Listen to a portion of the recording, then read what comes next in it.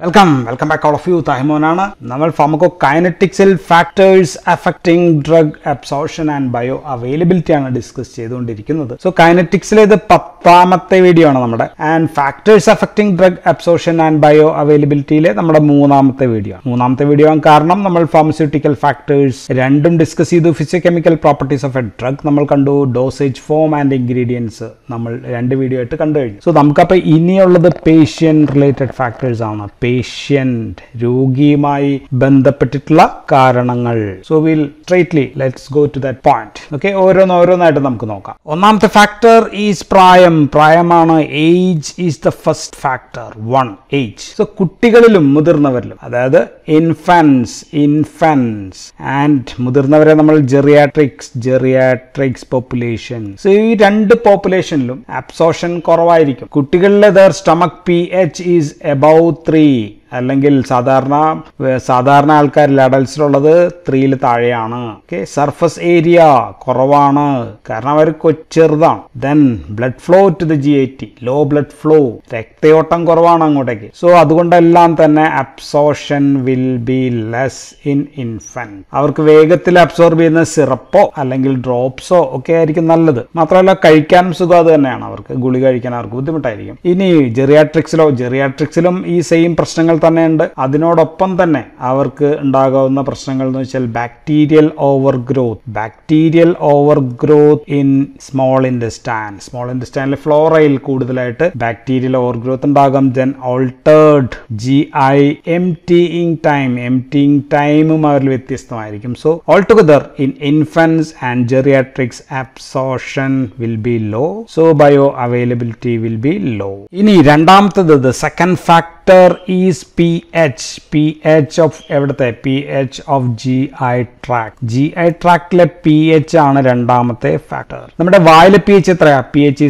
six point eight ആണ്. That is it is not too acidic or not too basic ഒരു ന്യൂട്രലിന് അടുത്താണ് സ്റ്റൊമക്കിലോ in stomach P H is below three മൂന്നിൽ താഴെയാണ്. Small ഇൻഡസ്റ്റൈനിൽ ഒരു five point five to seven point five ആണ്. So it's become basic now and in large intestine it is eight to eight point five ആണ്. Okay ഇതൊന്നും accurate അല്ല ഏകദേശമാണ് ഞാൻ പറയുന്നത്. സോ വായിൽ വെച്ചിട്ട് വായിൽ വെച്ചിട്ട് absorb ചെയ്യാവുന്നത് basic drugs will get absorbed then unionised drug get absorbed unionised ആയിട്ടുള്ള അബ്സോർബ് ചെയ്യും. ന്യൂട്രൽ ഡ്രഗ്സ് സോ ഇതെല്ലാം ഏകദേശം സെയിം ആണ്. സോ ഇവിടെ ബേസിക് മാത്രമുള്ള ഇത്തിരി നമ്മൾ പറഞ്ഞത്. സോ ഇതിന്റെ എല്ലാം അബ്സോർഷൻ നടക്കാം. സ്റ്റൊമക്കിലോ സ്റ്റൊമക്കിൽ acidic drugs can get more unionise so it can get more absorbed so aspirin aspirin ion trapping ഒക്കെ നമ്മൾ പറഞ്ഞതാണ് ജി ഐ അബ്സോർഷനെ കുറിച്ച് പറഞ്ഞപ്പോൾ അയോൺ ട്രാപ്പിംഗ് നമ്മൾ പറഞ്ഞു. അതുകൊണ്ട് അൾസർ ഉണ്ടാക്കാം എന്നുള്ള കാര്യമൊക്കെ പറഞ്ഞതാണ്. ദെൻ സ്മോൾ ഇൻഡസ്റ്റൈൻ ഇൻഡസ്റ്റൈനിൽ വെച്ചിട്ടാണ് ഏത് തരം drug ആലും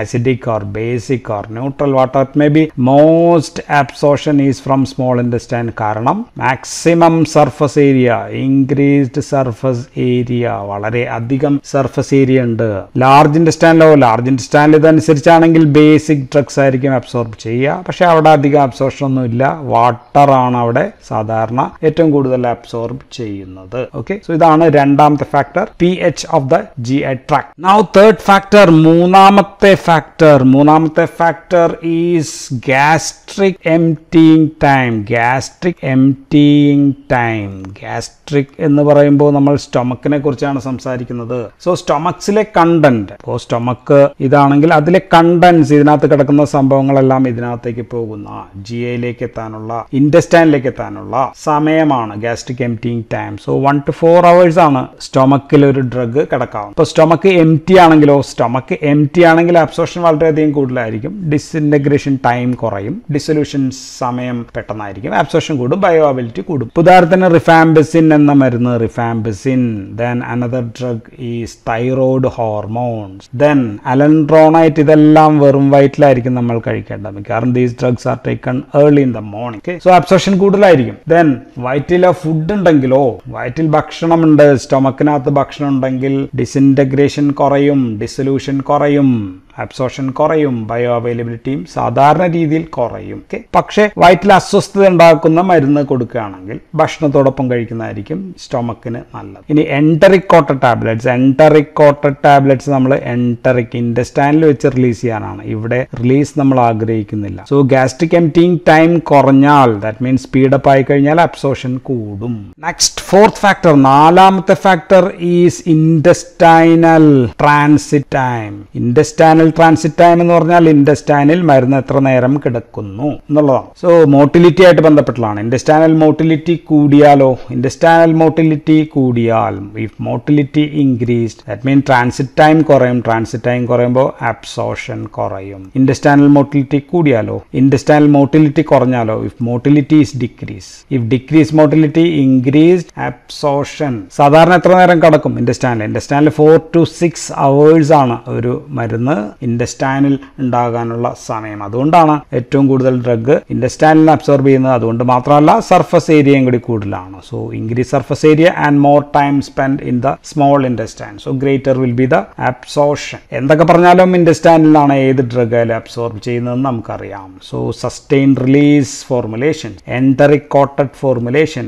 extended release formulations so ഇങ്ങനെയെല്ലാം നമ്മൾ കൊടുക്കുന്നത് നമ്മുടെ ഉദ്ദേശം ഇതാണ്. സ്റ്റൊമക്കിൽ റിലീസ് ചെയ്യാതെ ഇൻഡസ്റ്റാനിൽ പോയി റിലീസ് ചെയ്യുക ഇൻഡസ്റ്റാനിൽ പതിയെ പതിയെ റിലീസ് ചെയ്യുമ്പോൾ ധാരാളം നേരം എടുത്ത് സസ്റ്റൈൻഡ് ആയിട്ട് ഒരു ഡ്രഗിന്റെ ആക്ഷൻ ഉണ്ടാക്കും. ഇനി അഞ്ചാമത്തെ ഫിഫ്ത്ത് ഫാക്ടർ അഞ്ചാമത്തെ factor blood flow to the G I T ആണ്. Blood flow to the G I T G I ടിയിൽ മൊത്തത്തിൽ ബ്ലഡ് ഫ്ലോ ആണ്. So blood flow to the G I T കൂടുതലായി കഴിഞ്ഞാൽ എന്താണ് സംഭവിക്കുക? ആബ്സോർഷൻ വിൽ ഗെറ്റ് ഇൻക്രീസ്ഡ് എന്തുകൊണ്ടാണ്? ഇപ്പോൾ ഇത് ഇൻഡസ്റ്റൈൻ ആണ്. ഇത് ബ്ലഡ് വെസൽ ആണെങ്കിൽ ഇവിടെ ബ്ലഡ് ഫ്ലോ കൂടുതലാണെങ്കിൽ ഇവിടെ നിന്ന് അബ്സോർബ് ചെയ്യുമ്പോൾ ഇവിടെ എത്തും ഇവിടെ എത്തുമ്പോഴത്തേക്കും അതിന്റെ കോൺസെൻട്രേഷൻ ഗ്രേഡിയന്റ് കോൺസെൻട്രേഷൻ ഗ്രേഡിയന്റ് വ്യത്യാസം ആയിരിക്കും. ഇവിടെ നിന്ന് അബ്സോർബ് ചെയ്യുന്ന എല്ലാം പൊക്കൊണ്ടിരിക്കും. So the concentration here will decrease മരുന്നിന്റെ കോൺസെൻട്രേഷൻ ഇവിടെ കൂടുതലായിരിക്കും. So it will facilitate the absorption ഇനി അടുത്ത കുറച്ച് ഫാക്ടേഴ്സ് മരുന്ന് നിന്നുകൊണ്ടാണ് കഴിക്കുന്നതെങ്കിലോ. If you are in standing position so absorption will get increased absorption will increased if you are standing കിടന്നുകൊണ്ടാണെങ്കിൽ absorption കുറയും. അതും ഇടത്തോട്ടും വലത്തോട്ടും കിടക്കുന്നതിനും വ്യത്യാസമുണ്ട്. അങ്ങനെയൊക്കെയുള്ള കാര്യങ്ങളും ഇറ്റ് ക്യാൻ ഇപ്പൊ കിടക്കുകയാണെങ്കിൽ ഇറ്റ് ക്യാൻ പറയാം. Posture is also somewhat important ഇനി emotional factors emotional factors emotional factors എന്ന് വെച്ചാൽ stress കണ്ടീഷനിലാണെങ്കിൽ if you are a stress that means sympathetic or activity ആണ്. സിമ്പതറ്റിക് ഓർ ആക്ടിവിറ്റി എന്താ ചെയ്യുക? ജി ഐ ട്രാൻസിറ്റ് ടൈം ഒക്കെ കൂട്ടും. Relax ചെയ്യാണ്. ബ്ലഡ് ഫ്ലോയും കുറയ്ക്കും. ബ്ലഡ് ഫ്ലോയും കുറയ്ക്കുമ്പോഴത്തേക്ക് absorption കുറയാം. So usually what will happen is that absorption is reduced ഇനി അടുത്ത ഫാക്ടർ ആറാമത്തെ presence of food presence of food അത് ഓൾറെഡി നമ്മൾ പറഞ്ഞു presence of food in the stomach നമ്മൾ പറഞ്ഞു എം ടി സ്റ്റൊമക് ദെൻ അല്ലാത്ത കണ്ടീഷൻസ് നമ്മൾ പറഞ്ഞു. ഉദാഹരണം ചൂടുള്ളതോ തണുത്തതായിട്ടുള്ള ഫുഡ് ആണെങ്കിലോ അതിനേക്കാൾ നോർമൽ ടെമ്പറേച്ചറുള്ള ഫുഡ് ആണെങ്കിൽ അബ്സോർഷൻ വിൽ ഗെറ്റ് ഇൻക്രീസ് ഇനി കഴിക്കുന്ന ഭക്ഷണത്തിൽ ഇലക്ട്രോലൈറ്റ്സ് ഇലക്ട്രോലൈറ്റ്സ് കൂടുതലാണെങ്കിൽ then absorption will get decrease decrease decreased absorption electrolytes കുറവാണെങ്കിൽ അബ്സോർഷൻ കൂടും. കാരണം ഇനി കഴിക്കുന്ന ഭക്ഷണത്തിൽ ഓയിൽ ഓയിൽ റിച്ച് ഫുഡ് ആണെങ്കിലോ ഓയിൽ റിച്ച് ഫുഡ് ആണെങ്കിൽ സാധാരണ രീതിയിൽ ഡിക്രീസ്ഡ് അബ്സോർഷൻ ആയിരിക്കും. കാർബോഹൈഡ്രേറ്റ് റിച്ച് ഫുഡ് ആണെങ്കിൽ ഇൻക്രീസ്ഡ് അബ്സോർഷൻ പക്ഷെ ഓയിൽ റിച്ച് ഫുഡ് നമ്മൾ പറയും ചില മരുന്നുകൾ ഇൻക്രീസ്ഡ് അബ്സോർഷൻ ഉണ്ടെന്ന് പറയും. സോ ഉദാഹരണം griseofulvin griseofulvin antifungal drug ആണ്. ഗ്രിസിയോ ഫൾവിൻ ഓക്കെ നമുക്ക് കുറച്ച് എക്സാമ്പിൾസ് നോക്കാം. മരുന്നും ഭക്ഷണവും തമ്മിൽ ഓക്കെ സോ ഇപ്പൊ aspirin P C T or paracetamol diclofenac നമ്മൾ സാധാരണ ഉപയോഗിക്കുന്ന ഡ്രഗ് ആണ്. സോ ഇവിടെ അബ്സോർഷൻ കുറയുന്നില്ല ബട്ട് ഡിലേ അബ്സോർഷൻ വേഗത്തിലാവില്ല ഇച്ചിരി പതിയെ ആയിരിക്കും നടക്കുക. ഡിലേ അബ്സോർഷൻ ഇനി അലൻഡ്രോണൈറ്റ് നമ്മൾ പറഞ്ഞു തൈറോയിഡ് ഹോർമോൺസ് നമ്മൾ പറഞ്ഞു റിഫാംബിസിൻ നമ്മൾ പറഞ്ഞു. ഇനി രണ്ട് മൂന്ന് drug levodopa levodopa penicillins iron iron നമ്മൾ രണ്ട് രീതിയിൽ പറയേണ്ടി വരും. ഇതെല്ലാം അബ്സോർഷൻ കുറയും. അബ്സോർഷൻ വിൽ ബി ഡിക്രീസ്ഡ് ഇനി ഗ്രിസിയോഫൾവിൻ ഞാൻ ഓൾറെഡി പറഞ്ഞു ഇവിടെ. Griseofulvin absorption will get increase if the food is fatty food fatty food ആണെങ്കിൽ ഗ്രിസിയോഫൾവിന്റെ അബ്സോർഷൻ കൂടും. ദെൻ ഫാറ്റ് സോലബിൾ വൈറ്റമിൻസ് ഒക്കെ ആണെങ്കിലും ഫാറ്റി ഫുഡ് ആണെങ്കിൽ absorption will get increase then methyldopa methyldopa പോലുള്ള മരുന്നുകൾ.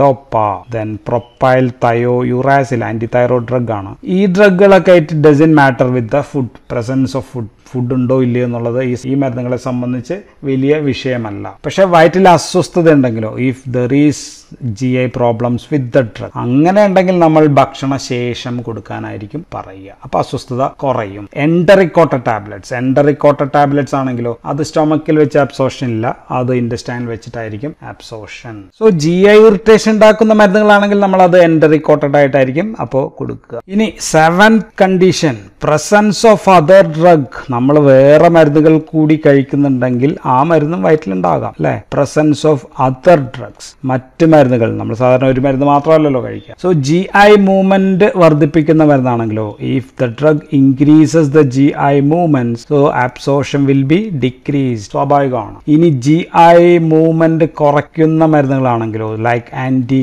കോളിനർജിക്സ് ആന്റി കോളിനർജിക്സ് ഒക്കെ ജി ഐ മൂവ്മെന്റ് കുറയ്ക്കും. So the drug will be there in the G I for long period so the absorption will be increase so increase absorption ഇനി metoclopramide meta മെറ്റാക്ലോർ പ്രൊമൈഡ് എന്ന് പറയുന്ന മരുന്ന് അല്ലെങ്കിൽ cisapride cisapride mosapride ഇങ്ങനെയൊക്കെയുള്ള മരുന്നുകൾ. So these are prokinetic drugs prokinetic drugs എന്താ ചെയ്യുക? Prokinetic drugs ചെയ്യുന്നത് ഇത് സ്റ്റൊമക്ക് ആണെങ്കിൽ സ്റ്റൊമക്കിന്റെ കൺട്രാക്ഷൻ കൂടുകയും സ്റ്റൊമക്കിൽ നിന്ന് ഡ്രഗിനെ വേഗം ഇൻഡസ്റ്റൈനിൽ എത്തിക്കുകയും ചെയ്യും. സോ അങ്ങനെയാണ് പ്രോകൈനറ്റിക് ഡ്രഗ്സ് വർക്ക് ചെയ്യുക. സോ ഇൻഡസ്റ്റൈനിൽ വേഗം എത്തേണ്ട angle so they will increased. Faster will be the bioavailability. ഇൻഡസ്റ്റൈനിലെത്തിയ നശിക്കുന്ന മരുന്നാണെങ്കിൽ വേഗം ബയോ അവൈലബിലിറ്റി കുറയും. സ്റ്റൊമക്കിൽ വെച്ച് അബ്സോർബ് ചെയ്യേണ്ട ഒരു മരുന്നായിരുന്നുണ്ടെങ്കിൽ അവിടെ absorption will be degree so usually prokinetic drugs will increase the absorption because എല്ലാ മരുന്നുകളും ഇൻഡസ്റ്റാൻഡിൽ വെച്ചിട്ടാണ് അബ്സോർബ് ചെയ്യുന്നത് നമുക്കറിയാം. ഇനി അയേൺ. അയേൺ നമ്മൾ ഓൾറെഡി എവിടെയോ പറഞ്ഞു. അയേൺ ഇപ്പൊ നമ്മൾ വെറും വയറ്റിൽ കഴിച്ചു കഴിഞ്ഞാൽ ജി ഐ ഇറിറ്റേഷൻ ഉണ്ടാക്കും. ജി ഇറിറ്റേഷൻ ഉണ്ടാക്കുമെങ്കിലും വെറും വയറ്റിലാണ് ശരിക്കും കഴിക്കേണ്ടത്. അപ്പോഴാണ് അബ്സോർഷൻ കൂടുതൽ ഉണ്ടാക്കുക പക്ഷേ ജി എ ഇറിറ്റേഷൻ വരുമ്പോൾ നമ്മൾ ഭക്ഷണ ശേഷമായിരിക്കും അയേൺ സാധാരണ കഴിക്കാൻ ആവശ്യപ്പെടുക. ഓക്കെ ദെൻ അന്റാസിഡ്സ് അന്റാസിഡ്സ് അല്ലെങ്കിൽ ഫുഡ് ഒക്കെ കഴിക്കുന്നെങ്കിൽ നമ്മൾ സാധാരണ എന്താ പറയുക? സാധാരണ ഒരാളോട് പറയുക അരമണിക്കൂർ മുൻപോ ഭക്ഷണത്തിന് അരമണിക്കൂർ മുൻപോ അല്ലെങ്കിൽ അന്റാസിഡ് ഒക്കെ കഴിക്കുന്ന അരമണിക്കൂർ മുമ്പോ രണ്ട് മണിക്കൂർ ടു മൂന്ന് മണിക്കൂർ two to three hours after food കഴിക്കാനായിരിക്കും നമ്മൾ സാധാരണ രീതിയിൽ പറയുക. ഇനി പേഷ്യന്റ് റിലേറ്റഡ് ഫാക്ടേഴ്സിൽ ഏറ്റവും അവസാനത്തായിട്ട് നമുക്ക് പറയാനുള്ളത് ഡിസീസ് സ്റ്റേറ്റ്സ് ആണ്. ഡിസീസ് ഡിസീസ് സ്റ്റേറ്റ് മരുന്ന് കഴിക്കുന്നത് അസുഖമുള്ളത് കൊണ്ടാണ്. സോ ഈ അസുഖം ഏതെല്ലാം തരം അസുഖമാണെങ്കിൽ പലതരം അസുഖങ്ങൾ ഉണ്ടാകാം സോ അസുഖങ്ങൾ ജി ഐ ടി എഫക്ട് ചെയ്യുന്ന അസുഖങ്ങൾ ഉണ്ടാകാം മറ്റ് ഓർഗൻ അതർ ഓർഗൻസിനെ എഫക്ട് ചെയ്യുന്ന അസുഖങ്ങളും ഉണ്ടാകാം. സോ ജി ഐ ടി നമുക്ക് നോക്കുകയാണെങ്കിൽ ഉദാഹരണത്തിന് ഗ്യാസ്ട്രക്ടമി ചെയ്ത ആൾക്കാർ ഗ്യാസ്ട്രക്ടമി ചെയ്ത ആൾക്കാർ അല്ലെങ്കിൽ ഡിയോഡിനൽ അൾസർ ഉള്ള ആൾക്കാർ അല്ലെങ്കിൽ ഹൈപ്പർ തൈറോയിഡിസം ഉള്ള ആൾക്കാർ സോ ഇങ്ങനെയുള്ള ആൾക്കാരിലെ മരുന്ന് വേഗം ഇൻഡസ്റ്റൈനിൽ എത്തും ഇൻഡസ്റ്റൈനിൽ മരുന്ന് വേഗം എത്തും. ഗ്യാസ്ട്രക്ടമി ചെയ്ത ആൾക്കാരിൽ കുറച്ച് ജി എ സ്റ്റൊമക്കിന്റെ ആ സൈസ് കുറവായിരിക്കും. Okay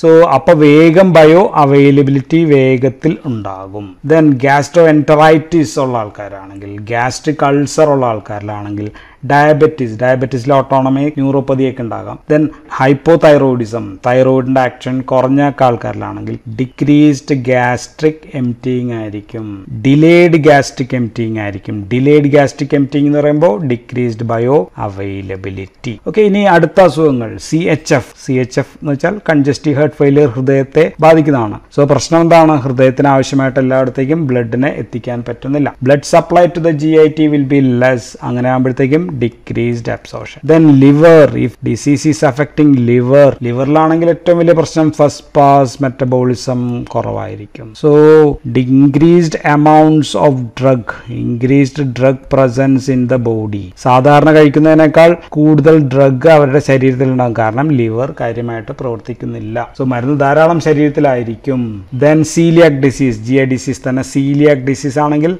decreased absorption then chronic Crohn's disease Crohn's disease എന്ന് പറഞ്ഞാൽ ഇൻഡസ്റ്റൈന്റെ ഏറ്റവും അവസാനത്തെ ഭാഗത്തെ ലാർജ് ഇൻഡസ്റ്റൈനൊക്കെ ബാധിക്കുന്നതാണ്. സോ അവിടെ microbial flora will get disturb അപ്പോൾ പല മരുന്നുകളുടെയും അബ്സോർഷനിൽ കുറവോ വ്യതിയാനമോ ഒക്കെ വരാം. ദെൻ സ്റ്റിയറ്റോറിയ സ്റ്റിയറ്റോറിയ എന്ന് വെച്ചാൽ ഒരുപാട് ഈ ഫാറ്റ് പോലുള്ള സാധനങ്ങൾ കൊളസ്ട്രോൾ ഒക്കെ ഫീസസിലൂടെ കൂടുതലായിട്ട് നഷ്ടപ്പെടുന്നതാണ്. സോ ഫാറ്റ് സോലബിൾ വൈറ്റമിൻ അല്ലെങ്കിൽ ഫാറ്റ് സോലബിൾ ഡ്രഗ്സിന്റെ എല്ലാം ഡിക്രീസ്ഡ് അബ്സോർഷൻ ആയിരിക്കും. സോ ഇത്രയെല്ലാമാണ് നമുക്ക് patient related factors which can influ influence the bioavailability or absorption എന്ന് പറയുന്നു. സോ ഇതെല്ലാം നമ്മൾ പറഞ്ഞത് ജി ഐ അബ്സോർഷനെ കുറിച്ചിട്ടാണ് മൊത്തം. What happens when food is drug is taken when oral route different oral route ഇനി നമുക്ക് ഐ എം ആണെങ്കിൽ എങ്ങനെ കാണണം സബ്സ്ക്യൂട്ടേനിയസ് ആണെങ്കിൽ എങ്ങനെയാണെന്ന് കാണണം. സോ അതർ റൂട്ട്സ് കൂടി നമുക്കൊന്ന് കണ്ടിട്ട് നമുക്ക് അടുത്ത second next segment that is ഡിസ്ട്രിബ്യൂഷനിലേക്ക് പോകാം. So one more video